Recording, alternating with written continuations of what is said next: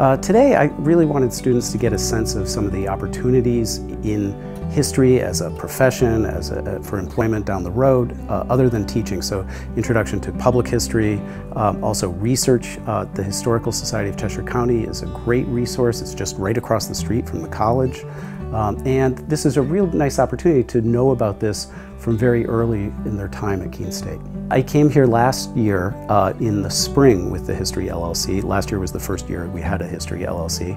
Um, this year I've decided to come over in the fall so they would know about it from right right at the beginning of their, their time at Keene State. Uh, the History LLC is for first year uh, students coming to Keene who are interested in history. a lot of them major in history, but they not, not necessarily major in history.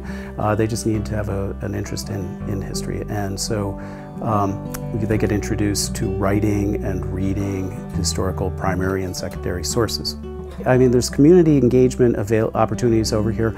Um, it's connected certainly with their academic work, but it's also an opportunity to see that history is not just in books. Uh, it's really a hands-on experience over here. You can touch the things that were created, say, in the 1700s, or photographs from the 1800s, or um, other publications, say, from the 20th century. So it's, it's really hands-on experience we're after here. I think students loved coming over here and seeing what was available, and uh, another one of my students actually volunteered at the college archives. I think there's um, both the College Archives Special Collections and Archives as well as the Historical Society over here have all kinds of opportunities for volunteering as well as research.